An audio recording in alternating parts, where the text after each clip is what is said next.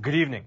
Four days ago, researchers published this new study right here that, for the first time ever, found a treatment which completely removed the rectal cancer in every single patient that participated. Meaning that every single patient in this particular study is currently in remission with no chemo, no radiation, and no surgery.